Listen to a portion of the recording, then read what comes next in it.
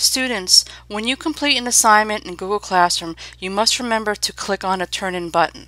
So for example, if I click on this 429 ELA assignment, and I, you know, I worked on my assignment in Google Docs and I completed it. Make sure when you are finished with your assignment to click on the Turn In button so that your teacher knows that you have completed the assignment. In addition, if you sign into another website, such as Pearson Realize, this is an example of an assignment in Pearson Realize. If you are working on an assignment in Pearson Realize, and then choose Next, you must click on Submit Test,